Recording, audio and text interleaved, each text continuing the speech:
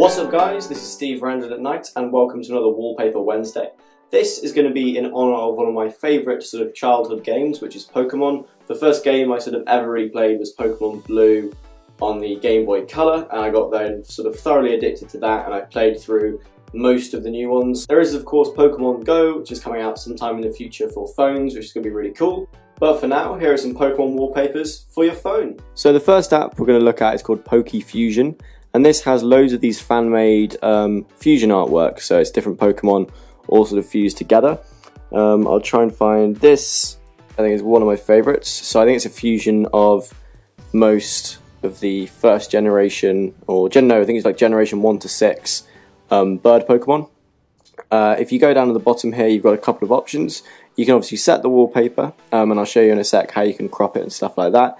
There's a little information Pokeball here. If you tap that, so yeah, Fusion of all Firebirdies, uh, generation 1 to 6, it will give you the detail of the artist, um, where you can link directly to it, um, and which Pokemon have been fused um, to make the wallpaper.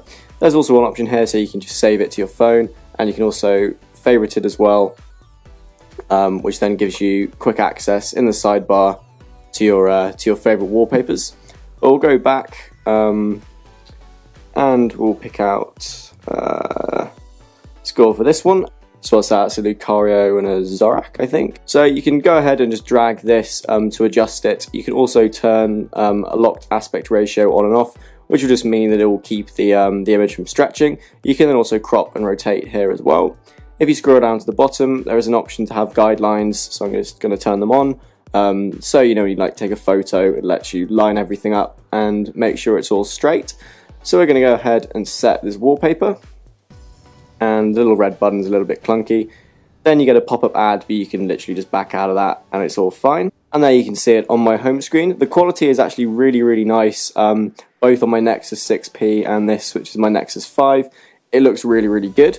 If we go back into the app for a second, you can see there is also a second set of wallpapers. Now, these are ones of sort of Mega Evolution Pokemon. I think a couple of fusions as well, but these all have a nice background behind them. They're not just on the black. So let's go for uh, this sort of Umbreon kind of thing. So yeah, this is a fan-made Mega Umbreon, and this is by a guy called Fatmon. So I'm going to drag it out, just center it up, and hit set and again that will set it for you. So there you've got a nice one with a colourful background. This obviously has wallpaper scrolling, but that will also depend on which launcher you're using. The next app we have is just called Pokemon Wallpaper, and this is kind of similar. It's just a nice big gallery of uh, of Pokemon images, and this is a bunch of different fan-made ones in a couple of different styles. Um, and you can see there are literally thousands upon thousands of these. I don't think you're ever going to run out um, if you just keep flicking through these to find stuff. A um, couple of things you could do with this is, for example, download a bunch of them, then use a wallpaper which will automatically cycle through them, which will allow you to have sort of different Pokemon every hour or so, um, depending on what you're using. So we're just going to find one that we like. Uh, some of these are quite cool. Let's go for that. Is that like a Groudon in the background? Is that a Groudon? I always forget. No, Salah, Salah, Salamence, he was one of my favourites. Um, but yeah, so here you've got the options to share it to Twitter or Facebook. You can also download it and also favorite it on the side here as well. And if you hit this top image, it will load it up and allow you to set it as your wallpaper. I like that it lets you install it through different wallpapers, so you can, for example, do it through Muzei, and this will give you that nice little blur effect, which I always, I always go on about. But we're just going to set it through Nova Wallpaper and hit Set and you get another pop-up advert. But again, we've got a nice sort of Pokemon, Pokemon background going on. Next up on this list, we've got minimal wallpaper Pokemon, and this is quite nice in that it's got some uh, slightly bigger designs. They tend to be less focused on one Pokemon. Um, I really like this one. It's a kind of My Neighbor Totoro with a Gastly and Ash um, waiting in a bus stop, which is pretty cool.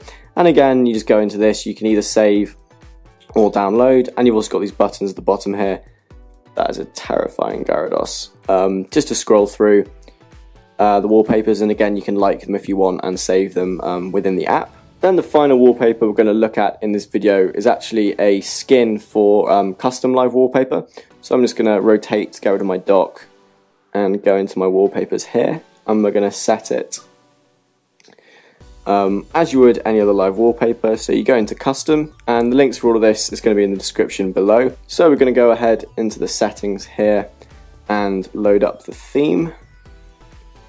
And the theme for this is Pokédex. So you can see there's a couple of different ones, um, each with a different type of Pokeball. I'm going to go for just a sort of classic red and black um, sort of bog standard Pokeball. Now I am going to be doing a I'm going to be doing another video on Kustom live wallpaper because it really is one of the most powerful ways to theme your home screen from within a specific launcher. Um, but this is a three screen setup, so you just have three blank screens, and as you can see, you can scroll through. You've got a media player here, this will tell you what song um, is playing and sort of the play time. Nice little battery um, monitor there as well, and you get the play controls and the Pokeball. You can scroll across, you get a nice sort of time widget, you've got a bit of weather as well, and you've got all these links, which are of course customizable. And if we go once more, you've got a nice little map showing you where you are, which I think looks really, really neat. Um, and again, you've got a few more links here as well. You have got this blue button at the bottom too, which is a little bit janky because of the soft keys. Um, it works better on a phone with hard keys, um, but that just gives you settings, a search option in the Play Store. But in all honesty, I probably wouldn't use that. I'd assign some sort of gesture. And if you tap in the middle of this Pokeball here, you get your app drawer.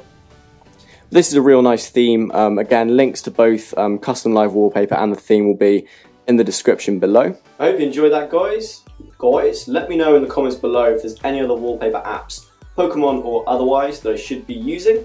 Go ahead and like this video if you've enjoyed it. Please do subscribe if you haven't seen me before. That really does help. You can follow me on all my social media things, the links in the description. And as always, I will see you guys in the next video. Peace!